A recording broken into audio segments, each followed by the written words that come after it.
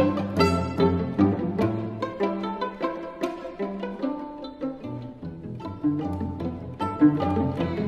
you.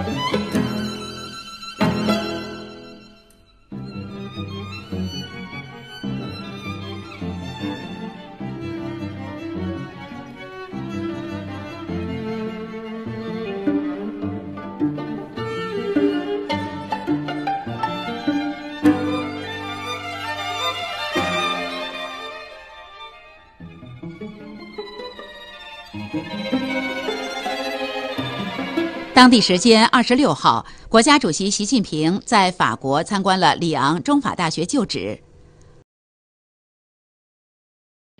Alors, c'est un institut qui a une valeur symbolique très très forte pour les gouvernants chinois parce qu'ici, dans cet institut, ont été formés ou sont venus ou sont passés quelques-uns de ceux qui ont été des grands dirigeants de la Chine moderne, et on sait que notamment Deng Xiaoping, Xu Enlai sont venus à Lyon, sont venus à l'Institut franco-chinois. Et donc pour le président chinois, comme pour les dirigeants chinois d'aujourd'hui, cet institut a une valeur symbolique très forte parce que effectivement c'est là qu'ont été formés quelques-uns de ceux qui ont fait la Chine moderne.